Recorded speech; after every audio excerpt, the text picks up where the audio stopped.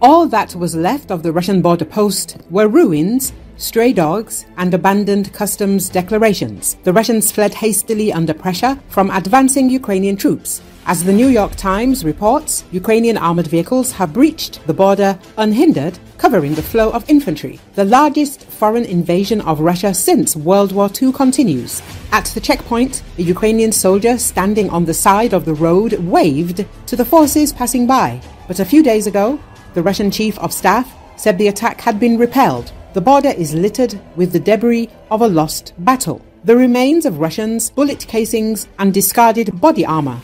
The move onto Russian soil was a significant moment for Ukraine in its war with Russia. During the first month of the war, Ukraine did strike back with a helicopter assault across the border and regularly bombed Russian oil refineries and airfields with drones. Two smaller previous incursions into Russia by groups of Russian exiles backed by the Ukrainian army ended in rapid retreat. But until last week, Ukrainian troops had not invaded Russia. The Ukrainian armed forces easily cut through the thinly defended border, advancing dozens of kilometers into Russia and changing the history of the war after a dismal year. Two dozen settlements have been captured.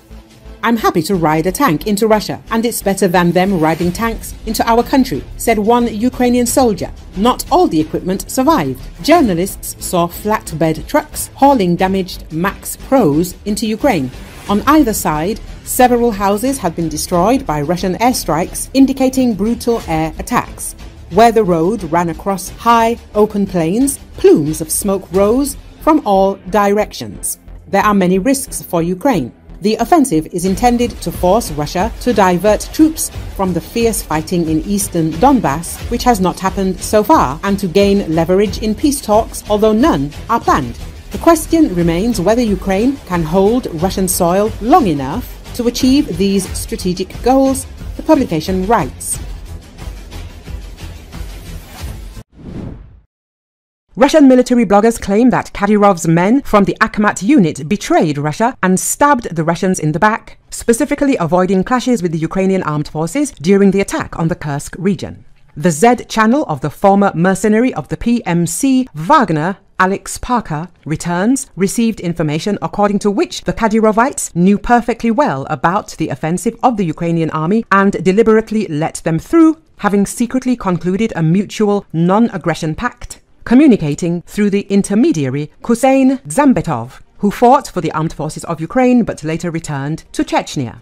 Kadyrov's men understood the balance of power and did not want to lose their fighters by simply allowing the Ukrainian armed forces to penetrate deep into Russia. The puzzle has come together, writes a Russian military propagandist accusing Kadyrov of betraying Russia. Over the past few days, Russian media have been actively accusing Kadyrovites units of fleeing the border.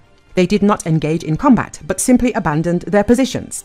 Earlier, Z War correspondent Kotenok told the truth about the battles of Kadyrov's TikTokers against the armed forces of Ukraine in the Kursk region. Kotenok confirmed on his social network page that the Kadyrovites did not take part in the battles but fled shamefully. He also writes that the breakthrough was made from three directions at present, the Ukrainian armed forces successfully advanced further in the Kursk region, this time towards the Belovsky district of this region. The media reported fighting to the south of the Sudza district. On this wave, there were also reports of fighting in the Krasnoyarsk district.